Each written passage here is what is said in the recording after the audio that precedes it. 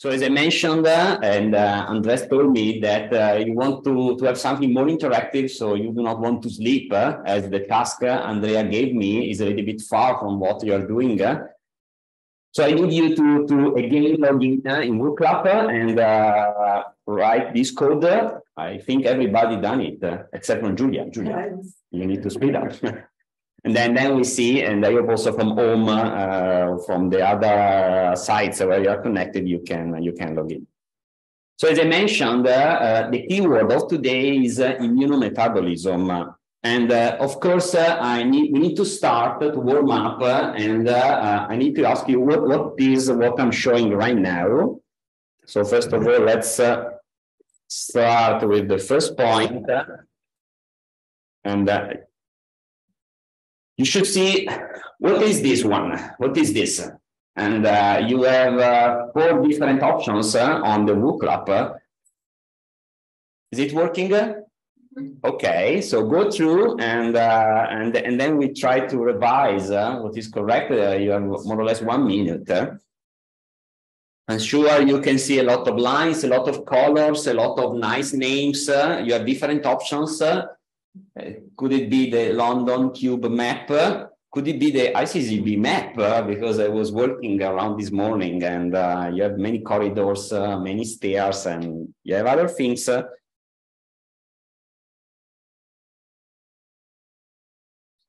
We have few seconds left, uh, so who has not answered? Uh, I, I, can even try to show you the opposite. So we, we have some fans uh, saying that maybe it's the London Tube, maybe is the ICGEB. Nobody mentioned Picasso, and I don't know why. So at the end, I'm sure, I mean, everybody knows is the Krebs cycles. 22 mentioned Krebs cycles, which is correct. What I think is important as a biochemist that the Krebs cycle, which is this one here, is only a small part of all the metabolic events that are happening in a cell. And this is relevant because uh, if I would ask you which is a tissue or a cell or an organ that is relevant in terms of metabolism, uh, you will come saying me for sure is the liver, maybe the pancreas. But then uh, you have to think that all type of cells uh, are uh, using metabolism for many reasons the most important will be the capability to generate ATP, which is critical, but also it's relevant for many, many, many other functions. And the topic of today, as I mentioned, is try, try to focus on uh, how metabolism is relevant for the function of immune cells. So there is this new word that has been uh, taught uh, 10 years ago, connecting the role of uh, changes in metabolism in immune cells, which is known as immunometabolism, I know there are some fans of uh, immunity here in the room. So in general, we know that different immune cell functions are associated with different metabolic configurations. If you think about uh, resting and quiescent immune cells, uh, think about uh, naive T lymphocytes, uh, M2 macrophages, uh, these are cells that are mainly generating energy via classical mechanisms, glyco, uh, glycolysis coupled to uh, TCA cycle or uh, lipid oxidation, beta oxidation coupled to TCA cycles. We also know that as soon as a cell need to change the phenotype, think about activated and proliferating cells, they need to speed up uh, the production of ATP and uh, uh, it is nice to know that uh, they really prefer to run a, what is known as anaerobic glycolysis. So glucose is converted into pyruvate, but then pyruvate is not entering in the mitochondria and uh, uh, going through the TCA cycle, but is rather converted to lactate. And this is uh, what is also known as Warburg effect for cancer cells. and is a process that is less efficient in terms of the amount of glucose that is used to generate a, a certain amount of ATP, but is running very quickly. So most of the activated and proliferating cells, including uh, immune cells, are preferring uh, the Warburg effect. And this is true for M1 macrophages or effector T cells as, uh, as we discussed, uh, how could this be relevant uh, if you move from uh, cell metabolism to a setting uh, where we have uh, a disorder which is associated with an impairment of metabolism? And specifically, I'm a lover of atherosclerosis. And if you focus on the etiopathogenesis of atherosclerosis, we know that the atherosclerotic plaque is a site of immune inflammation. Meaning what? Meaning that if you look into human atherosclerotic plaques as well as into mouse model atherosclerotic plaques, you can see a lot of cells uh, related to the innate immune response, including macrophages, uh, B1 cells. Uh, we know that innate immunity in the context of atherosclerosis, but not only, has a low specificity, but uh, possesses a rapid response. On top of that, we also have a lot of cells uh, related to adaptive immunity. They are critical for uh, the recognition of specific molecules, antigens. They have a very high elevated specificity. The uh, response is relatively slow, but could be amplified. And it also possesses a sophisticated regulation. So up to now, we know that uh, the metabolism of immune cells can be modulated can change depending on which type of immune cells we need in a specific setting. And if we translate this in the context of uh, atherosclerotic disorders, uh, we have all type of immune cells that are represented there. So I will move and focus on uh, one of the uh, potential risk, factors associated with atherosclerosis, which is cholesterol. And specifically, the question I would like to discuss with you today is how cholesterol metabolism is rewired in immune cells during uh, different uh, physiological and pathological processes. And as I know that uh, uh, we have a lot of PhD students today, we move to question two. I would ask you, and uh, let's see, I, am your mentor, I'm your uh, uh, PhD supervisor, and I will ask you, oh, uh, I need you to come with an excellent idea. And uh, before starting from that, we know that we have to study something related to cholesterol metabolism. So how can I explore whether I would like to investigate is relevant? so which is what the possible approach that I can use. So what will you do? Would you look into the eyes of your uh, lab mate and try to find uh, the answer to the question? Would you explore PubMed and look for publications on the same topic? So would you like to repeat what has been already done? Would you ask your supervisor, can I attend a scientific meeting on the other side of the world just to try to see whether what I would like to do is relevant? Would you look somewhere into all the databases that uh, are there and try to see whether or not uh, uh, there are clinical features of genetic defects related to what you would like to investigate, which perhaps is related to cholesterol metabolism, which is the topic of today. Is this relevant? So time to answer. And then we try, we try to go through. Course, I know that you are a fan of your, you, you like your lab mate, so you really want to, to have a beer together. Maybe is is not the, the, the, top answer, top choice. So a lot of, of, of answers already. So let's go to the numbers. Oh, wow. Now, now, now there is no clear indication. So either you will explore PubMed and try to look into the same topic, or maybe you can look into genetic defects uh, that are related to, in our case, to cholesterol metabolism. So it's going on the same direction. A few of you will, uh, will go to your supervisor and ask to go to a meeting on the other side of the world. At least no one will look into the eyes of, the, of your lab mate. So of course, one, one important question uh, is, uh, and this is my suggestion for the PhDs, uh, uh, I think it's important that uh, if you want to see what uh, is relevant, is really important at the clinical level, you, need, you really need to look into the history of the disease from a genetic point of view and see whether this could be relevant for what we're studying. So let's think about cholesterol. You all know that cholesterol is, is a molecule that has free cholesterol, is cytotoxic, and it's, uh, it's important uh, not to accumulate cholesterol within the cells. And therefore, evolution provided us with nice mechanisms to eliminate cholesterol from cells. And there are four key actors that are critical for eliminating cholesterol from most of cells, including immune cells, we have these two transporters. Uh, these are ATP binding cassette transporters known as ABCA1 and ABCG1, and they are only working uh, if there are cholesterol acceptors outside from the cells. And the two key acceptors that are known are apolipoprotein E and apolipoprotein A1. So if you would like to understand uh, better if what we are studying is interesting, we need to look into genetic disorders associated with these uh, four key players. And this is what is known up to now. So there is a disease known as uh, Tangier disease. This is a disease related to a loss of function in uh, one of the two transporters, ABCA1, so it's an, an ABCA1 deficiency. And as we are thinking about cholesterol and immune disorders, uh, you have to know that uh, patients with Tangier disease, uh, they uh, present splenomegaly, they have a dramatic accumulation of lipids within tonsils, and this is resulting in an impairment uh, even of the immune response. If you think about uh, deficiency of one of the two acceptor, apolipoprotein A1, this is known as hypoalpha lipoproteinemia, and the most severe cases, uh, you accumulate a lot of uh, lipids uh, within the skin, for instance, and in this setting, you attract a lot of inflammatory cells so uh, on top of skin lipid deposition, you have a dramatic inflammation and you have an impairment of innate immune response. Patients with severe APO1 deficiency, they are at increased risk of uh, dying for infections. Then regarding ApoE deficiency, uh, this is known as type 3 hyperlipoproteinemia.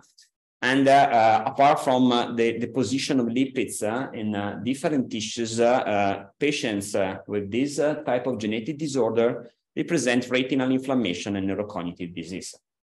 Just for information, up to now, there are no loss of function mutations reported for ABCG1, the second transporter maybe suggesting that it's so relevant uh, for uh, the function of an organism that uh, the mutations are not cannot be associated with life.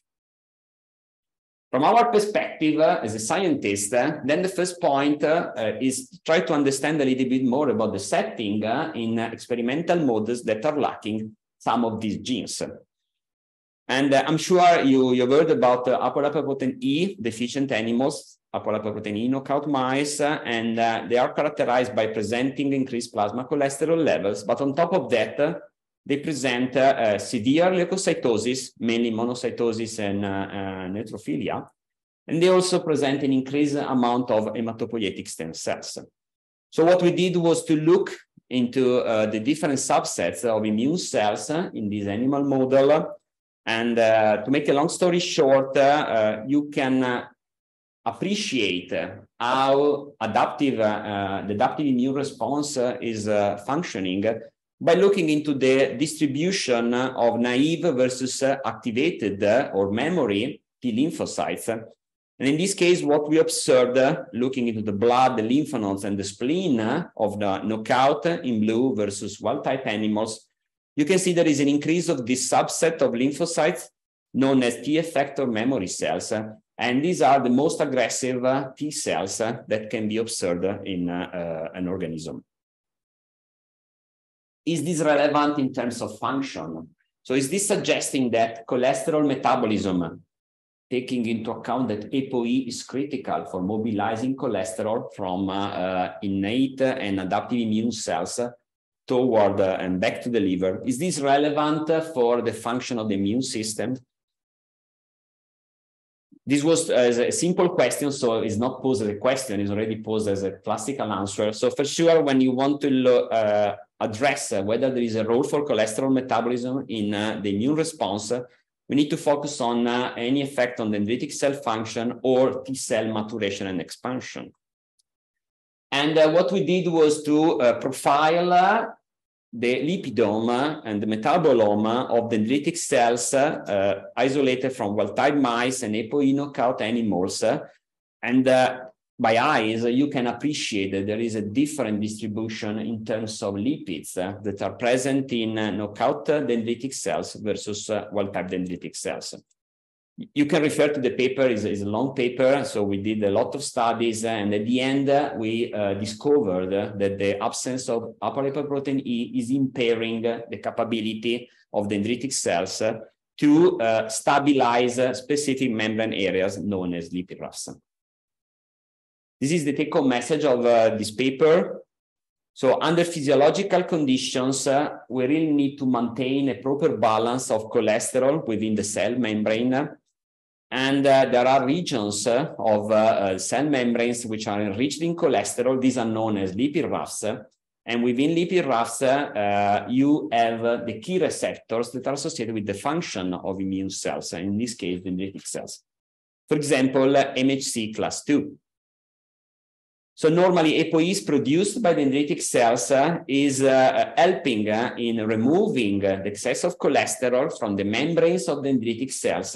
And this is critical to maintain a proper level of MHC class 2 within the cell membrane.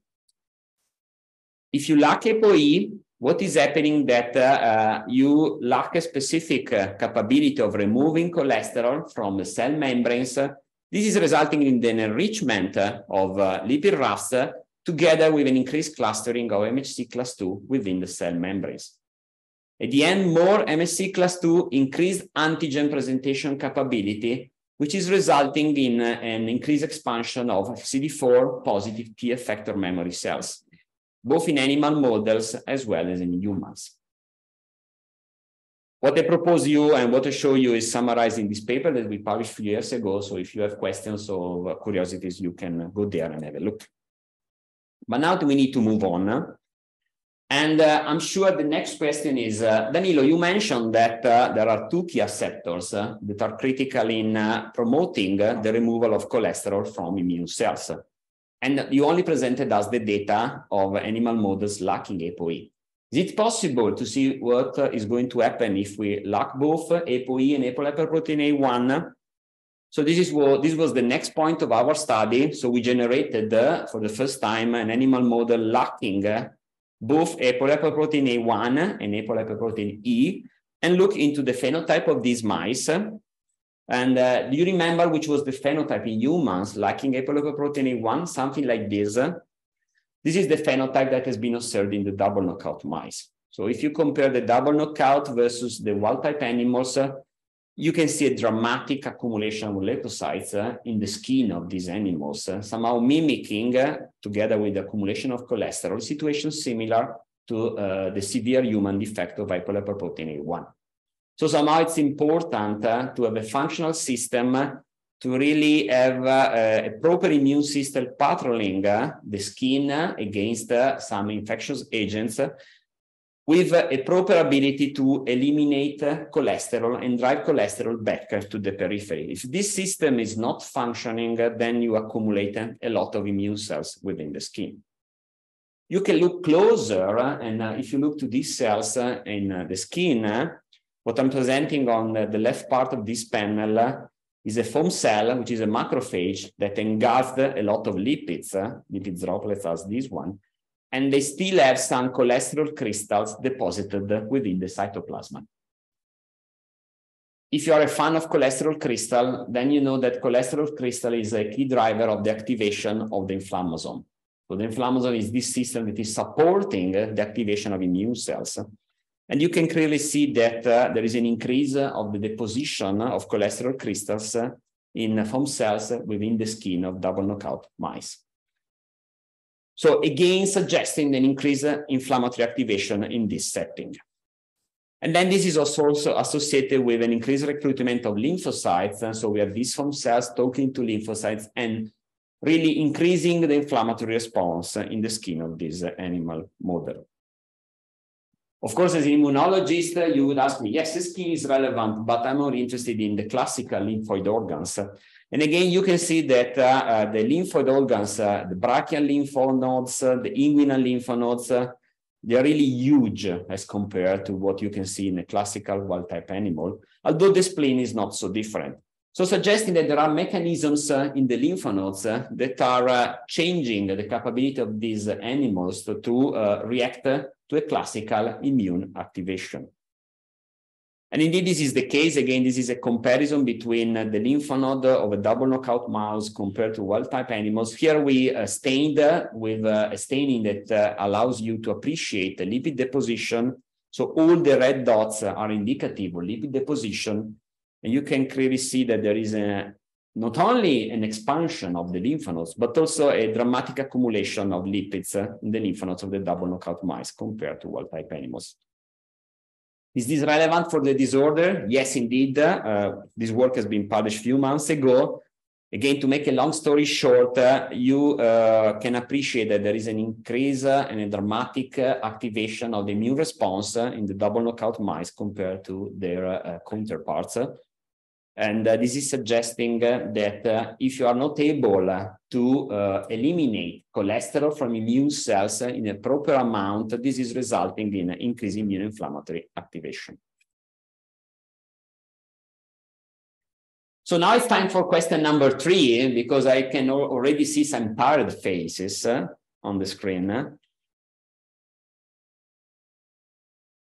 So I really need to know how do you feel uh, after the introduction because this was only the introduction. So you can uh, you, you, can be like uh, the painting for Munch, or you can be like the Sleeping Beauty in the room. So I hope I'm not too tiring you too much. Am I boring, Andres? Not too much. Okay, thank you. Let, let, let's see how do you feel? So most of you so are terrified. Good, good, good to know but uh, uh, i can see few numbers so someone is shy and doesn't want to reply to the, to not participate to, to to the test.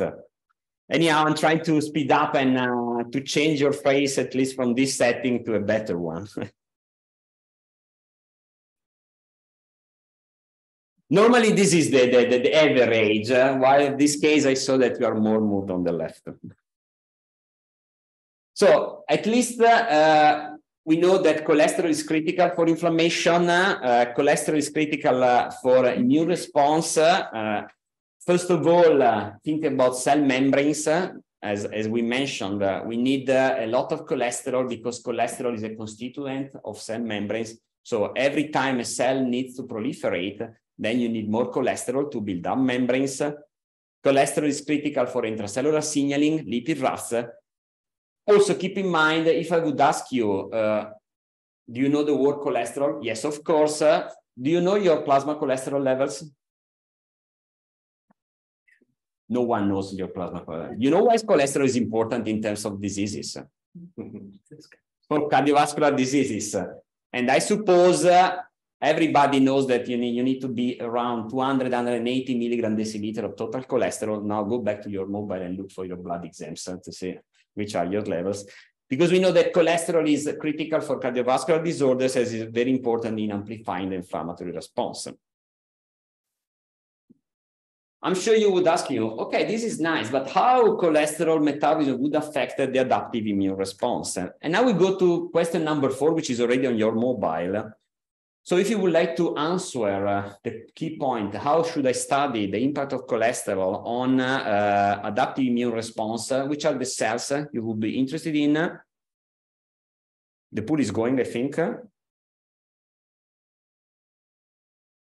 So would you study monocytes? Would you study neutrophiles biology, neurons biology? Maybe it's relevant for uh, adaptive immune response and cholesterol, or maybe lymphocytes. This is more difficult as compared to the previous question. So, but we are almost to the end.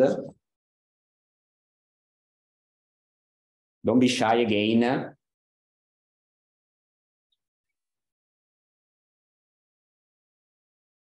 We have a few seconds left.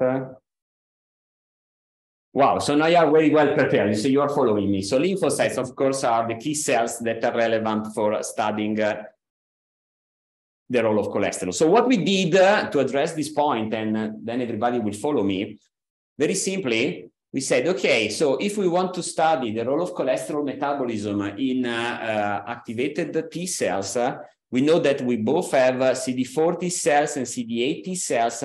So let's look which are the genes that are changing when we activate either CD4 T cells or CD8 T cells. And if you look into this panel uh, and uh, you see which are the changes, uh, you see a lot of uh, nice red dots that are uh, pumping up. And these are all genes associated with cholesterol metabolism that are mainly bumping up uh, in CD8 T cells. And specifically, I'm highlighting a nice guy known as LDL receptor. The LDL receptor is the receptor which is in the liver, is critical for taking cholesterol from the circulation. So this is a classical receptor, which is very important uh, because uh, is uh, taking lipoproteins and delivering lipoproteins via the endosome to the lysosome, where then cholesterol is used for many, many, many purposes. As I mentioned before, you cannot accumulate too much cholesterol, so you need to recirculate or reuse your cholesterol through different pathways. And depending on the organ and tissues, cholesterol can be used for the membranes, can be used to generate bile acids, can be used to generate other sterols, stress hormones, and so on. So the LDL receptor is very important. So why is the LDL receptor increasing in inactivated uh, T cells? And why it could be relevant for CD8 and not for, this, for CD4 T cells? Uh, I know this is a complicated slide, so I do not want to enter into the details of these experiments. But very simply, we compared the activation of CD8 T cells from knockout mice and wild-type mice, as well as uh, uh, the response of uh, CD4 T cells from LDL receptor knockout animals versus wild-type in terms of proliferation and in terms of cytokine production. Do you see differences in the left panel? Is there something that is attracting your interest? Don't be too shy. At least you can bet your money that perhaps there are differences related to uh, CD8 T cells CD8 T cells are proliferating less if they are lacking the LDL receptor and they are producing less uh, cytokines associated with the cytotoxic activity. This is not the case for CD4 T cells. This is a simple experiment done in vitro. You take T cells, you incubate with splenocytes, so antigen-presenting cells from a different strain. So these are splenocytes from a BALB/c animal. And then this is automatically exposing antigens uh, normally recognized as not self from BALB/c splenocytes to uh, T cells from a C57 black 6 animal. And therefore, this is uh, uh inducing uh, the activation of proliferation and uh, the activation of the production of specific cytokines. Is this true also in vivo? I do not want to enter in the details of this experiment, but you can also use an antigen, a specific antigen in vivo. In this case, we use ovalbumin. And then you can isolate your uh, lymphocytes and uh, uh, test them again in vitro with the same antigen and see whether they acquire memory against uh, the antigen that they have seen in vivo. And under this uh, setting in vivo, uh, if you retest isolated T cells from the lymph nodes of these mice, you see that uh, uh, they are proliferating less uh, if they are lacking the LDL receptor, and again, they are uh, less capable to produce a nice amount of uh, uh, cytokines. So what, what are these data suggesting to us up to now? The LDL receptor is critical for CD8 activation, but not CD4 activation. So when, when we had these results a few years ago, we were stuck and we were thinking, how can we solve the problem? And this is the last question for you. So I want to translate what we are doing, what is going to be your project. What should I do when I have no idea how to develop further my project? Before we move to the last question, which is question number five. So should I repeat the experiment because I'm not satisfied? Should I talk to my supervisor and ask him, please change my project? should I run omics or at the end, should I change the job and uh, think I can make more money if I become a dentist? So answers are on the way. Again, do not, don't not be shy. I know everybody loves to become a dentist. You still have some seconds to come to me back, please. Almost there, almost there. Okay, you are very well prepared. Of course, I mean, when you have no idea and you have the money, you say, let's run omics and see whether we can sort out the molecular mechanisms beyond what we are trying to, to, to understand in the system. And this is what this is what we did. Uh, we performed uh, an untargeted proteomic to understand the cell signature in uh, CD8 and CD4 T cells. As you can appreciate from the uh, PCA's uh, analysis, while resting T cells, either being CD4 or CD8, they are similar if the LDL receptor is there or not. In activated T cells, uh, there is a clear difference uh, in the pattern of uh, the proteomic signature in activated CD8 T cells lacking the LDL receptors versus those presenting the LDL receptor. You can play a lot of the game, you can do everything. Uh, we then combined the analysis of proteomics with metabolomics. And at the end, what we found was that uh, CD8 T cells lacking the LDL receptor they have a downregulation of uh, a lot of uh, critical uh, metabolic pathways associated with glycolysis, with fatty acid beta oxidation, with glucose degradation, and oxidative phosphorylation. So somehow suggesting that something is not uh, properly functional uh, in the mitochondria as well as in the uh, extracellular or in the sorry in the cytoplasmic glycolysis pathway in cells lacking the LDL receptor. How can we try to combine everything together? So thinking about the biology of the LDL receptor, as I mentioned before, the LDL receptor is critical to deliver cholesterol in the cell.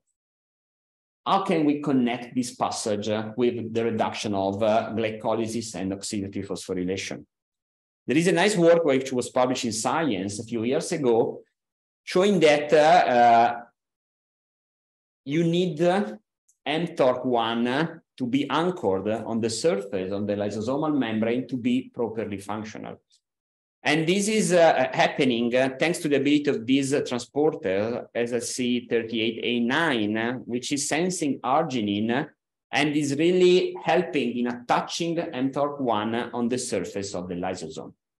The missing passage is that uh, uh, SLC38A9 uh, to be uh, stabilized within the membrane of the lysosome will need the proper amount of cholesterol to be there to stabilize the lipid rafts.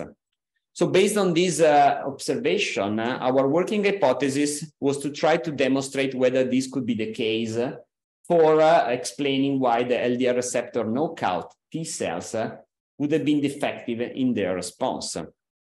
So what we did was to look into uh, mTOR, mTORC1, all the downstream uh, pathways associated with mTORC1. And uh, uh, you can clearly see very quickly that uh, all pathways downstream of mTORC1 are impaired in CD8 T cells, uh, lacking the LDL receptor compared to their wild type counterpart. And this is clear when you activate these cells, so in activated CD8 T cells. So this was suggesting that uh, LDL receptor deficiency results in impaired mTOR activation and metabolic reprogramming. Keep in mind that mTOR1 or mTOR complex is the key sensor for nutrients in any type of cell. So if mTOR is not proper, properly anchored on the surface of uh, the lysosomal membrane, then the cell cannot sense nutrients in another way. So to go further, uh, we look into the uh, presence and the delivery of uh, cholesterol to the lysosomal membrane. We perform a series of studies. We observed that uh, uh, markers of uh, lysosomes are different in activated T cells lacking the LDL receptor, the red bar, compared to those presenting the expression of the LDL receptor. And this is, was associated with some key changes in all the pathway allowing a proper delivery of cholesterol in the lysosome of uh, CD8 T cells. So again, to make a long story short, we published this work last year, so you can you can go to JCB and have a look to the, the key results. The three, take, the three take-home messages is that the LDL receptor is critical for CD8, but not for CD4 T cell activation activated CD8 T cells rely on cholesterol uptake via the LDL receptor, and the deficiency of the LDL receptor is impairing mTORC activation and metabolic reprogramming in CD8 T cells that will be highly relevant. Let's move to the end of my talk uh, and uh, let's briefly touch uh, on the role of the other big class of lipids, which are triglycerides and fatty acids. So in general, we know that uh, uh, these two individuals uh, are mainly different because uh, either uh, they present both visceral adipose tissue, but uh, individuals which are lean, they have a visceral adipose tissue which already present immune cells, but are mainly immune cells which are controlling the inflammation of this visceral adipose tissue. So they are mainly enriched in T regulatory cells and anti-inflammatory macrophages or M2-like macrophages. Vice versa, uh, if you look into the visceral VATs, visceral adipose tissue of an obese subject, uh, you will see a lot of uh, activated inflamed cells and one macrophages activated T cells. And this is uh, summarized with the simple question, uh, an obese subject is more inflamed. What we asked ourselves a few years ago is the opposite possible? So is it possible that uh, the uh, visceral adipose tissue per se is producing uh, or is uh, releasing different metabolites that might differently impact T cell activation? And therefore, the research question uh, was uh, relatively simple. we decided to investigate the phenotypic, functional, and migratory features of memory CD4 T cells in experimental model of uh, fatty acid induced metabolic stress. So we, we combined uh, different type of approaches uh, to try to understand whether there is a priming uh, by adipose tissues and by fatty acids on uh, immune cells. The result of this work is uh, was published a few years ago on cell metabolism. Again, you can go and have a look and don't want to enter in all the details. The take-home message is that uh, uh, obesity is inducing a metabolic stress that is leading uh, to the activation and differentiation of effector memory CD4 T cells. And the key player in this response is uh, PI3 kinase 110 type delta, which is then activated in an AKT dependent response. I would like to leave you with two key findings. Uh, uh, we identified a subset of CD4 T cells, uh, CD4 effector T cells, which are expressing uh, two receptors on the surface, CXCR3, LFA1. And these are a subset, uh, this is a subset of T cells, effector T cells that is activated, highly activated under these conditions. And most importantly, uh, you can run all the mismatch experiments. So you can take dendritic cells uh, from mice that have been exposed to obesity or under wild type conditions. Uh, you can do the opposite experiment, take T cells uh, from obese mice or from lean mice and run all the combinations. In this case, the activation of the A1 PI3 kinase 110 delta AKT signal is only relevant for T cells, CD4 T cells which are presenting this, uh, this specific uh, phenotype. Is this relevant in human? Uh, I like to, to go translational when it's possible. So what we did in our uh, unit, uh, uh, we have access to study from the general population. So we compare three ladies with same age, 66 years, 66 years of age, that presented the different distribution of fat you can appreciate by eyes. So obese ladies, overweight and lean ladies, and we characterize, we profile the different T cell subsets uh, in these ladies. And uh, we observed a nice correlation between uh, the specific subset of T effector CD4 T effector cells expressing CXCR3 with uh, a parameter of uh, uh, the deposition of adipose tissue, which is the android to gynoid area, which is over here. So suggesting even in humans, confirming in humans that this subset is, this subset is really relevant for uh, the response. However, and this uh, would be my last point today, if you, I mean, now most of you perhaps have already had lunch, so you're in your postprandial phase. So if you're thinking about an obese subject, the subject is obese anyhow, but then we go through cycles. so we have fasting status and we have feeding status states. And uh, uh, we wanted to understand whether there's also an acute impact of uh, lipids uh, on uh, the capability of mobilizing immune cells. And to mimic, uh, to mimic this situation, we set up a nice test, and everybody's invited in Milan if you want to do that. So we go through what is called an acute lipid overload. So you need to eat in maximum five minutes a nice and tasty tiramisu which is uh, a bit fat enriched, 95% of fat in this tiramisu. And uh, the key point is that you have to ingest a certain amount of kilocalories adjusted for your body surface. So in my case, my body surface is around two square meters. So uh, uh, when I'm running this experiment, uh, I need to eat this tiramisu is uh, 1,240 kilocalories uh, in five minutes. and then I'm going to collect my blood. So this is uh, the way your blood will look like uh, at baseline. and after two hours, this is the way my blood is looking. So we, we are sure that, uh, I mean, at least I, I, was able to enrich my blood in uh, fats. But then we were interested in understanding whether this acute lipid overload can be translated in some key changes in our vascular function, but also in the capability of mobilize immune cells. And what we observed was uh, a dramatic increase in uh, overweight subjects uh, in LFA1 positive cells. Uh, so immune cells that recently uh, went out from the bone marrow and were released in the circulation. And most importantly, you can look into the different parameters uh, and there was a clearly increase in leukocytes that can be appreciated under acute conditions in this setting in human. This is my profile, so I have no disclosure, my disclosure that I'm showing the data from my blood. And of course, we, we were trying to see whether this can be mimicked, mimicked in animal models. so we set up an oral lipid tolerance test in animal models. In this case, they are luckier than me. So uh, they are taking uh, by gavage some olive oil, uh, and uh, we are looking into the increase in plasma triglycerides together with the increase of uh, specific immune cell subsets. And what we found was that uh, under the acute uh, uh, oral fat load, you have a dramatic release in neutrophils. And uh, we went back and looking into the changes in the bone marrow of these mice, um, and you can see a shift. You have a decrease in all the precursors of neutrophils, you have an increased rapid maturation toward mature neutrophils that are released in the circulation. And as I promised, uh, this is my last slide, uh, which is the take-home message for today. And then we go back to the final results from the test. So what I would like you to bring back uh, home today is that immunometabolism is really important. Understanding how immune cells uh, are changing their function uh, in relation to their metabolism is, re is relevant.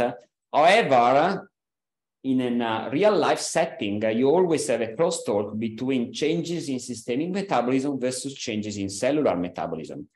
This is relevant under homeostatic conditions. Uh, so you can imagine that you have nutrients, metabolites that are influencing the differentiation of uh, your immune cells. and then uh, up to a certain degree, degree, the plasticity of your immune cells, they can shift between effector and regulatory function.